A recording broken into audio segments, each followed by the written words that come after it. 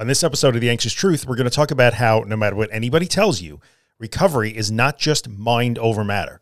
In fact, it's exactly the opposite. So let's get into it.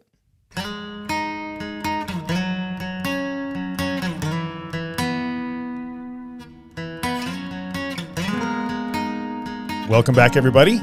Welcome to The Anxious Truth. This is podcast episode number 187, being recorded in late December of 2021. It's almost Christmas as of this recording.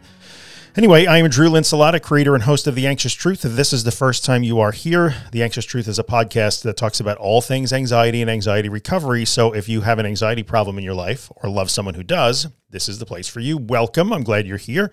If you are back and listening because you are a return listener or a long-time listener of the podcast, thank you for coming back. Also, I appreciate your support. Before we get into this topic, the topic of mind over matter. Oh, is it just just comes down to mind over matter? No, it doesn't. It's actually the opposite. So before we get into that, I just want to remind you of a few little housekeeping things. This is the end of 2021. On January 3rd, 2022, I am launching a daily email newsletter completely free called The Anxious Morning. It's just a way for me to teach things and convey information and support and encouragement and empowerment and all the things that I love to do in a more organized way. I can write a little more detail to you. I can do three to 500 words every morning.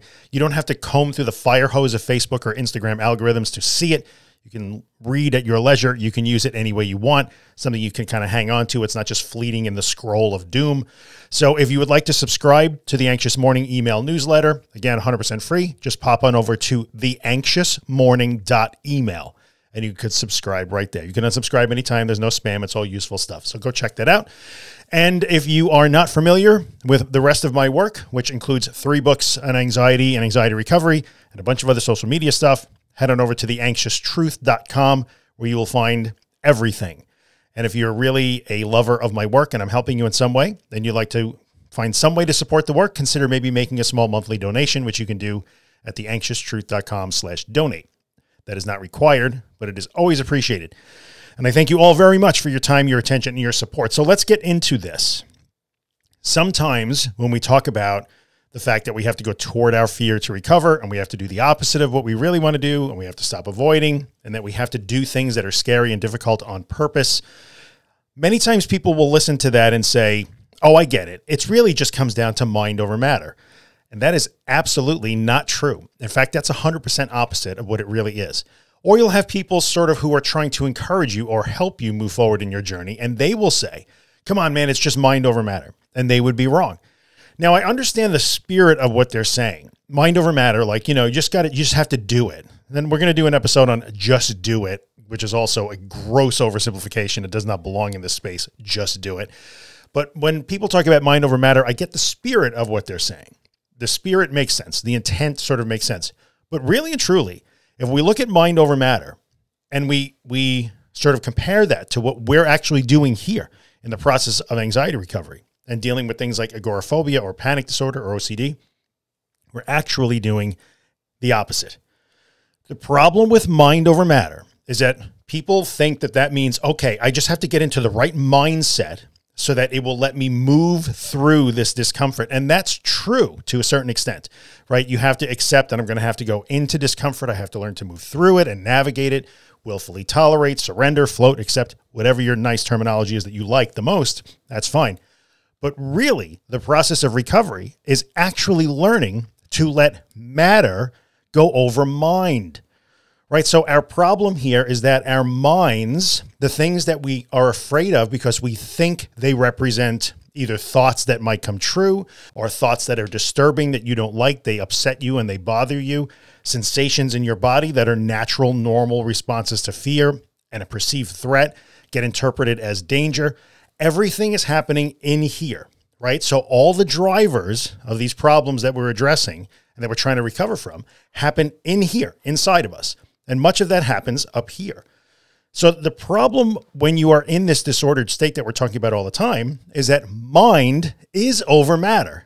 So it's already mind over matter because reality has shown you again and again and again. And you'll appreciate this, especially if you've struggled with this or suffered for any amount of time. Reality has shown you again and again and again that the things that we fear and that we try to avoid, that we try to stop them, we try to escape from them, we don't want them to ever happen because we hate them and we fear them, those things never actually amount to real harm.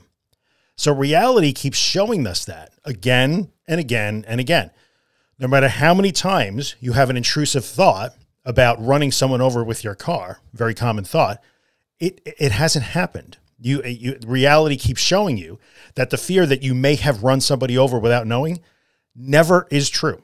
No matter how many times you get a sensation that seems like you might pass out and you don't pass out, reality keeps showing you you don't pass out. It's not true.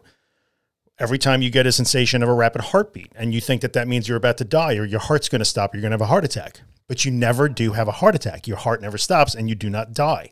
So reality keeps showing us again and again and again that what's going on up here in our heads, our interpretations, right? Our subjective interpretations and evaluations of what's going on are wrong.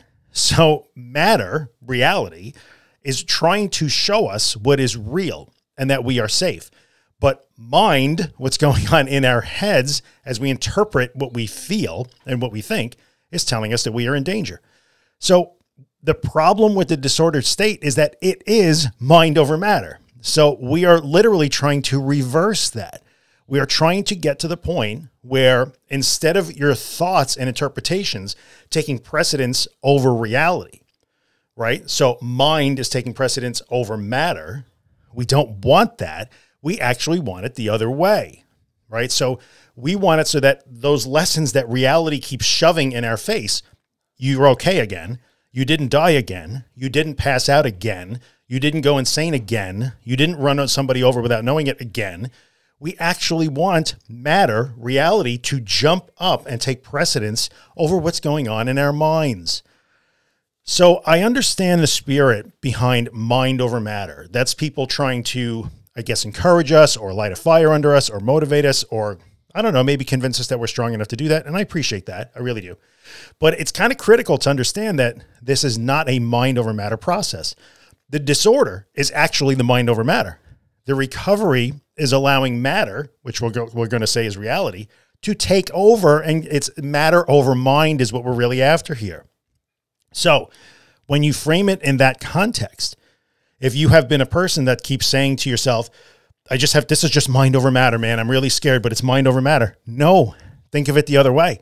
So when you are getting geared up because you have to do the ERP homework that your therapist or your counselor has given you, when you have to do your exposures, when you have to stay home alone for 20 minutes when you haven't done that at all and you're terrified, when you have to go and walk around the block, whatever it is that you have to do, you're going to go to that birthday party or with that social event, whatever it is that you've decided, I'm not going to hide anymore. I want to go move forward in recovery. So I'm going to start doing these difficult, scary things. I'm going to do these exposures, do my ERP homework, I'm do all of these things. When you're doing those things, do not think that it's mind over matter, that your mind should will you through something in reality, what we really want to do is kind of put the throttle down or at least take our foot off the accelerator mentally and just let our minds coast so that reality, matter, can actually sink in, right? So it can be, while we might think this is a silly little thing, like, why do you care? Mind over matter, matter over mind.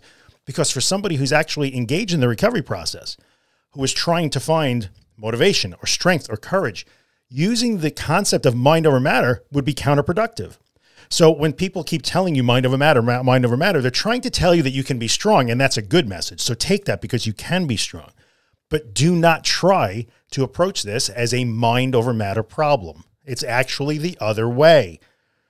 So I would urge you to say to yourself, is this mind over matter? Should I be following mind over matter? No. My mind is overriding reality already.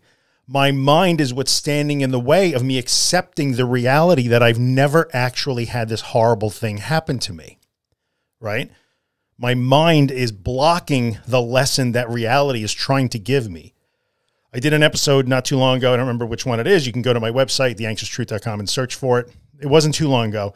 And it was about not accepting the lessons of recovery. So your exposures are supposed to give us lessons. The lessons they are giving us are based in reality. But if we are going to follow, the lessons are based on reality, matter. like M A T T E R, matter is reality. But often we refuse to accept those lessons. Why? Because we think we need to follow our minds. So, mind over matter has gotten you into this problem to begin with in a lot of ways, and it perpetuates the problem. You need to look at it the other way. Like, I have to stop going with my mind. I have to stop listening to those subjective interpretations and evaluations and judgments and predictions because they're always wrong. They feel so real and they're scary every single time, but they're always effing wrong. So you don't want mind over matter. You actually want the ability to let matter, reality, hand you the lesson that no matter how afraid you have been and how much you think you are in imminent danger, that has never been the case ever. And when we do that, we begin to learn that, oh, wait a minute, all that avoidance, all that saving, all that running, all those rituals, the oils, the crystals, the mantras, the calls, the snapping of rubber bands, the water, the, the bottle of water in the mints has never been required. I've never actually been in danger. That is a powerful lesson that reality, matter, M A T T E R, is trying to hand us. But our overactive, oversensitized minds think they are doing us a favor, trying to keep us safe. They are blocking those lessons again and again and again. Your brain will tell you. I know the guy on the podcast says that I never pass out, but this feels, this time it feels like I'm really going to pass out. And it will do that again and again and again and again forever if you keep following it. So this is not a mind over matter problem. This is a matter over mind problem. At some point, we make the decision to say, I'm going to do these scary things. I have to recognize that the interpretation that I'm getting out of my mind, my overworked, oversensitized amygdala, my lizard brain, is not doing me any favors.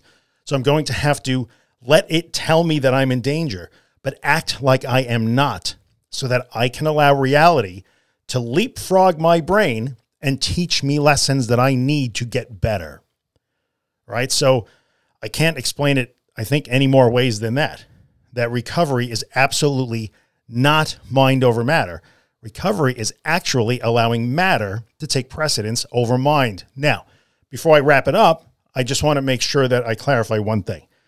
I am not saying that the act of recovery or trying to deal with anxiety is ever about ignoring your emotions or invalidating them or trying to become a robot and never caring what you think. That's not it at all. When you get to a more, a less disordered state, when anxiety has been put back into its rightful place that it belongs in in all human lives, then we can start going back to maybe a little more closer examination of our thoughts and our feelings. We can do that. That's true. But right now, when your brain, when your mind is 100% running the show and reality has no shot. We have to err on the side of allowing reality to take precedence over our thoughts. So some people get a little nervous and they think like I'm telling them, "Oh, this is all about learning to never, never ever ever care about what you think." And for some people that's a really difficult concept because some of their identity is really tied up in thinking and feeling and emotions. I'm not saying that that has to go away, but we can learn to temper that and we can learn that those traits, right, of, of seeing your thoughts as special and sacred, then they must be followed. That trait that you hang on to, or the trait of following those emotions, is keeping you in a state of mind over matter. And we need to reverse that and do matter over mind. So we need to kind of work against those traits or those habits for now. For now. When you get better, that part of you can still flourish. That can be a very useful part of your personality. We need all different kinds of people in the world. It's not a bad thing to be emotional. It's not a bad thing to be contemplative. Totally fine. But right now, some of those habits are getting in your way. So those habits are cementing the role of your mind over matter. So if you are a thinker, I must think, I must think, I must feel, I must feel, I must follow what I think, I must follow what I feel those habits and traits are cementing the disordered mind over matter. And so we, we need to back those off a little bit, which will feel really hard. It's what makes this process so difficult sometimes, makes it such a struggle sometimes. We need to back off from that so that we can we can get a balance again between what's going on up here in our heads and what's going on in the universe and reality around us. So this is really all about achieving that balance again between what goes on in your head, what you think and what you feel, and what reality is actually giving us. Right now, what you think and feel is 100% in control, mind over matter.